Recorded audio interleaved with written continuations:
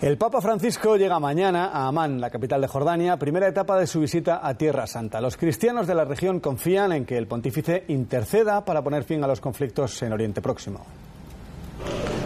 Miles de peregrinos ya han llegado a Amán. En este estadio, el Papa ofrecerá la homilía más masiva de su viaje a Tierra Santa. Francisco visitará el río Jordán en Betania, donde se cree que Jesús fue bautizado.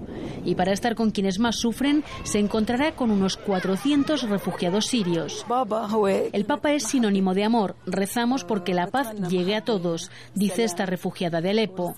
Jerusalén bulle, repleto de turistas y peregrinos.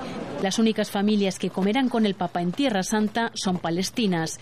Esta es una de las cinco elegidas. Sus tierras están en el Valle del Cremisán, la única zona verde que queda en Belén. El gobierno israelí planea que su muro de separación atraviese el valle, lo que afectaría a 58 familias cristianas, un convento y un monasterio. Nuestro mensaje es eh, pedir la intervención que siempre ha sido pacífica del Papa en tratar de hacer el mensaje eh, llegar al gobierno israelí.